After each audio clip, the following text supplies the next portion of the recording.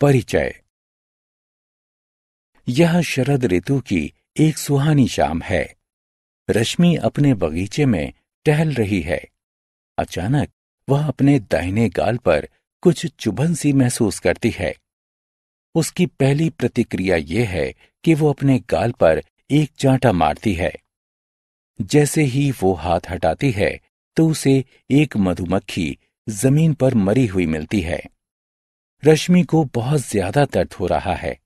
वह डॉक्टर के पास चिकित्सीय सहायता लेने के लिए भागती है। अभी आपने बाहरी प्रभाव के लिए रश्मि की पहली प्रतिक्रिया देखी। इस अध्याय में आप सजीव वस्तुओं तथा उनकी विशेषताओं के बारे में और अधिक जानेंगे। आओ सीखें। सजीव व निर्जीव वस्तुओं के बीच अंतर करना। श्वसन, वृद्धि, उद्दीपन और प्रतिक्रिया, जनन और प्रकाश संश्लेषण को परिभाषित करना। शाकाहारी, मांसाहारी तथा सर्वाहारी के बीच अंतर करना। सजीव वस्तुएँ। सजीव वस्तुएँ निम्न क्रिया करती हैं। सांस लेना, गति, वृद्धि और जनन। सजीव वस्तुओं में संवेदना होती है। वे भोजन खाते हैं और व्यर्थ पदार्थों को निकाल देते हैं। निर्जीव वस्तुएँ।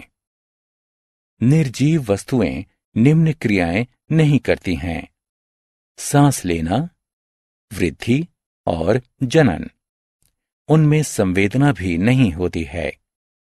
कुछ निर्जीव वस्तुएँ प्राकृतिक होती हैं। उदाहरण के लिए, पत्थर, सोना आदि। कुछ निर्जीव वस्तुएँ सजीव वस्तुओं से प्राप्त की जाती हैं, जैसे शहद, रेशम आदि।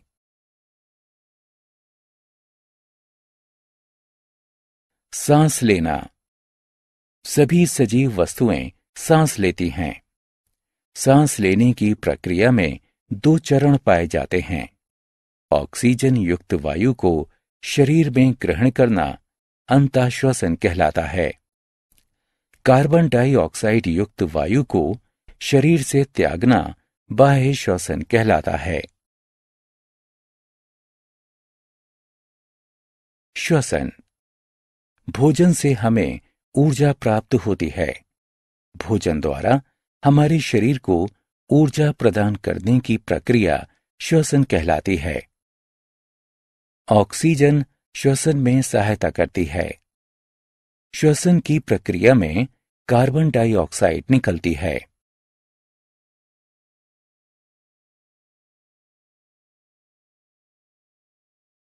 वृद्धि। समय के साथ साथ सभी सजीव वस्तुएँ बढ़ती हैं। कुछ सजीव वस्तुएँ समय के साथ तेज़ी से तथा ज़्यादा बढ़ती हैं। उदाहरण के लिए, घोड़े, मनुष्य आदि। कुछ सजीव वस्तुएँ समय के साथ अपनी अवस्था परिवर्तित कर लेती हैं। उदाहरण के लिए, तितली इत्यादि। उद्दीपन प्रतिक्रिया। सभी सजीव वस्तुएँ अपने आसपास के बदलाव को महसूस करती हैं। कोई भी बाहरी प्रभाव, जिसके कारण एक सजीव वस्तु प्रतिक्रिया करती है, उद्दीपन कहलाता है। एक बाहरी प्रभाव के लिए एक सजीव वस्तु द्वारा की गई प्रतिक्रिया को अनुक्रिया कहते हैं। उदाहरण के लिए, जब आप गलती से एक गर्म तवा छू लेते हैं तो तुरंत आप अपना हाथ हटा लेते हैं।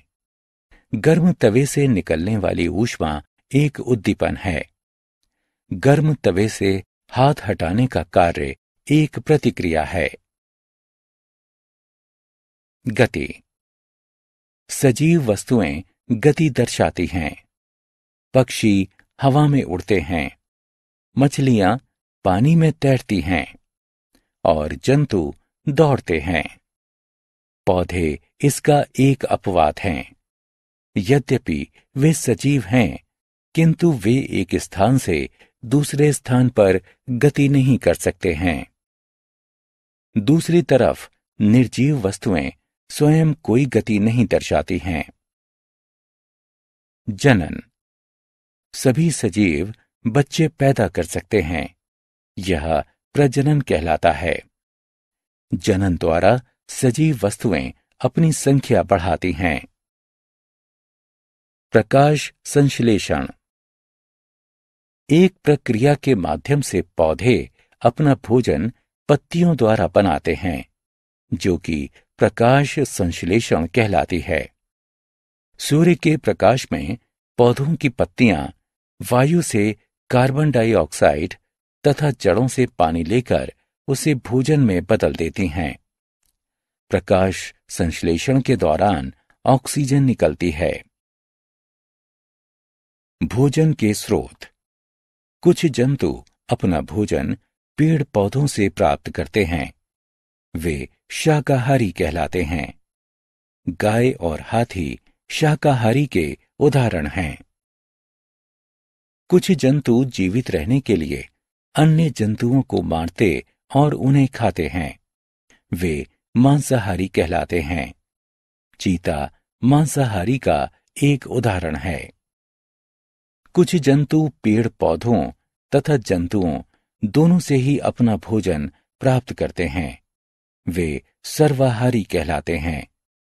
भालू और मनुष्य सर्वाहारी के उदाहरण हैं। हमने क्या चर्चा की?